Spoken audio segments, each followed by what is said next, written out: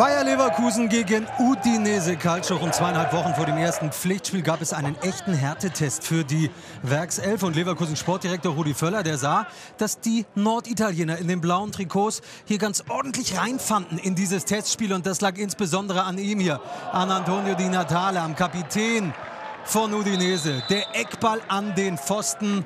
Erste kleine, knifflige Situation für Bernd Leno im Kasten der Werkself. Und es sollte noch kniffliger werden. Wieder die Natale, wieder der Aluminiumtest.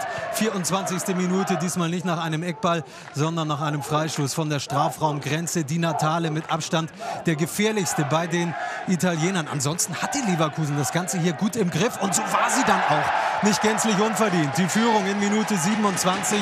Simon Rolfes, der Torschütze, der Kapitän, trifft nach der langen Ecke von Sidney Sam. Kevala im Tor von Udinese, Udinese macht keine gute Figur und dann ist Rolfes zur Stelle. Kurz darauf dann auch mal was Schönes aus dem Spiel heraus. Sidney Sam eben mit dem Eckball jetzt das Zuspiel auf Hegeler und dann Kiesling zum ersten und zum zweiten.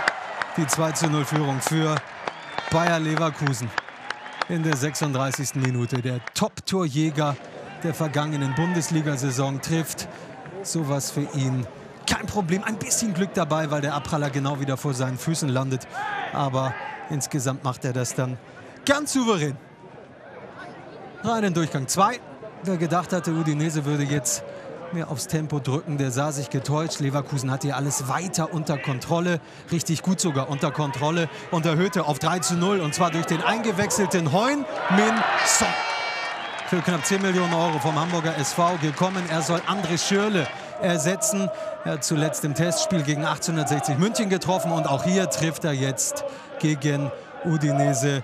Calcio fügte sich, nachdem er zur Halbzeit eingewechselt worden war, gleich richtig gut ein und hatte auch kurz darauf noch eine richtig gute Möglichkeit. 72. Minute Kiesling auf Sem. Das hätte er eigentlich sein müssen, der Doppelpack. Aber ein italienisches Abwehrbein noch dazwischen die Fans von Udinese, die feierten, obwohl es eigentlich nichts zu feiern gab, wieder Leverkusen. Diesmal mal wieder nach einer Standardsituation, Ecke, Castro und dann Böhnisch mit dem Kopf an die Querlatte.